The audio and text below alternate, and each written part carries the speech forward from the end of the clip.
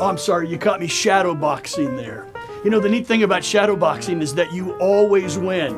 There's a huge difference between shadow boxing and fighting an opponent in the ring.